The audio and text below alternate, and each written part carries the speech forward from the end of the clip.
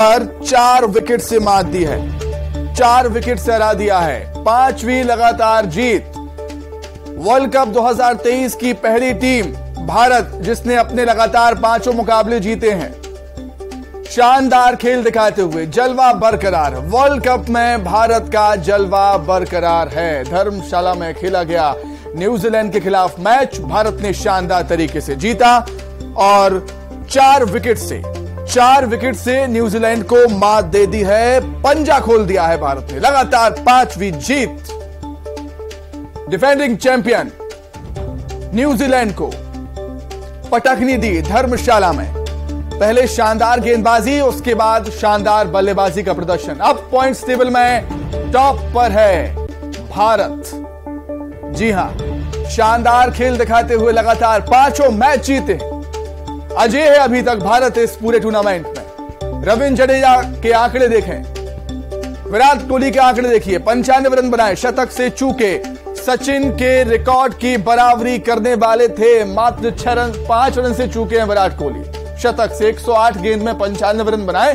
Strike rate रहा इक्यानवे दशमलव तीन चार। का शानदार बल्लेबाजी, विराट कोहली की तरफ़ से। मोहम्मद शमी ने शानदार गेंदबाजी की थी। पाँच विकेट झटके थे। 273 रन पर न्यूजीलैंड को ऑल आउट कर दिया। एक और बड़ी बात यह रही कि न्यूजीलैंड अपने पाँचवें मैच में, पहली बार ऑल आउट हुई है टीम इंडिया के सामने। अभी तक चार मैचों में ऑल आउट नहीं हुई थी।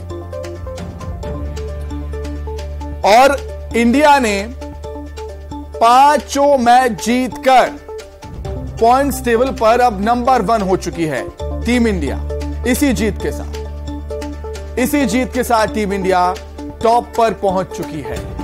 पाँचों मैच लगातार टीम इंडिया ने जीत लिए हैं और 2023 वर्ल्ड कप की पहली इकलौती टीम जिसने अपने पाँचों मुकाबले लगातार जीते हैं। अच्छा मुकाबला देखने को मिला यहाँ पर। न्यूजीलैंड की टीम की तारीफ़ भी करनी होगी। शानदार गेंदबाजी वो भी कर रहे थे। शानदार फील्डिंग की बदौलत उन्होंने कई रन बचाए। सूर्य कुमार यादव का रनआउट हमने देखा किस तरीके से वो रन आउट हुए। लेकिन विराट कोहली की जितनी तारीफ़ की जाए, किंग कोहली की जितनी तारीफ़ की जाए, उतनी कम है। चेज मास्टर कहे जाते हैं। क्यों कहे जाते हैं? आज फिर दिखा दिया। पंचानवे रन की शानदार पारी यहाँ पर विराट कोहली के बल्ले से देखने को मिली। रोहित शर्मा की बात करें, रोहित शर्मा ने भी शानदार यहाँ पर बल्लेबाजी की।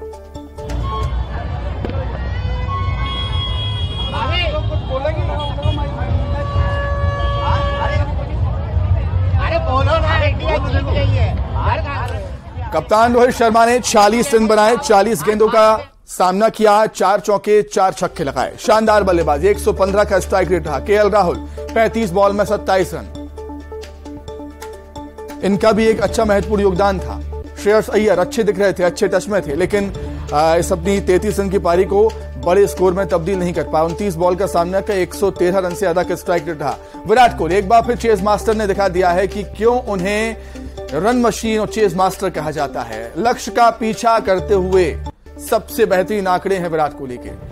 रोहित शर्मा, कप्तानी पारी, एक बार फिर से अच्छा स्टार्ट 115 का स्ट्राइक रेट 40 बॉल में 46 रन। चार शानदार चौके और चार उतने ही छक्के। उतने ही गगन जो भी छक्के भी मारे रोहित शर्मा ने। के राहुल। के राहुल ने 35 बॉलों का सामना किया 27 रन बनाए, सतहत्तर दशमलव एक चार का रहा स्ट्राइक रेट इनकी भी बढ़िया पारी थी। जब अय्यर आउट हुए उसके बाद जडेजा जडेजा की बात कर लें इन्हें पहली बार मौका मिला आ, बैटिंग करने का क्योंकि बैटिंग आई नहीं रही थी। इन इनकी भी अच्छी पारी है। तैतालीस बॉल में पैंतीस रन बनाए हैं इक्यासी दशमलव नौ तीन नौ का स्ट्राइक रेट रहा।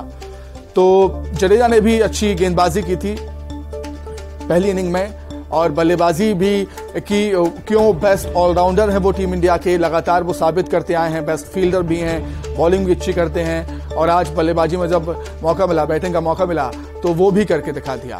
कप्तान रोहित शर्मा लगातार फॉर्म में। आज भी अच्छा स्टार्ट था, तेज स्टार्ट था।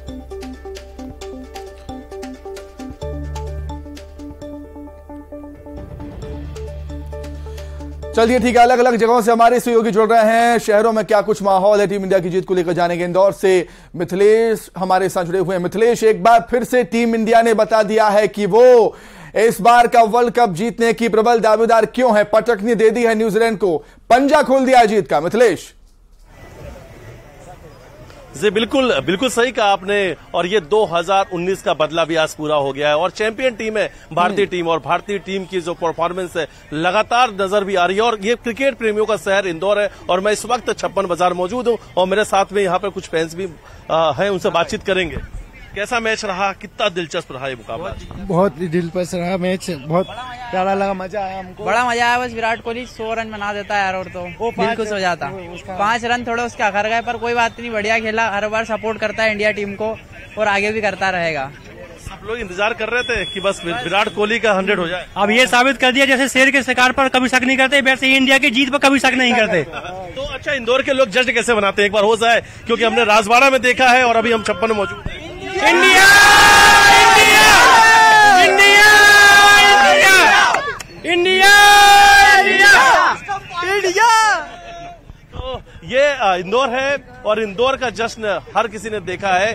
जब भारत और पाकिस्तान का मुकाबला होता है, वो जश्न तो राजवाड़ा से हर किसी ने देखा है, लेकिन जब भी मैच भारत का हो और भारत के बाद इंदौर की सड़कों का, यही हाल रहता है, चाहे वो राजवाड़ा हो, चाहे इंदौर का छप्पन हो, और इस वक्त मेरे साथ क्रिकेट फैंस भी मौजूद है, और यहाँ पे लोग जश्न मना रहे हालाँकि बहुत देर से हम यहाँ छप्पन मौजूद है, हर किसी के साँसें थमी हुई थी, क्योंकि मैच तो भारत जीत रहा था, लेकिन इंतज़ार था विराट कोहली के शतक का। हर किसी को उम्मीद था, जितने भी क्रिकेट फैंस है, उन्हें लग रहा था कि बस विराट कोहली का शतक होने वाला। हालाँकि थोड़ी सी मायूसी मिली है कि उनका शतक नहीं हो पाया। पंचानवे 95 रन पर आउट हो गए कैच आउट हुए।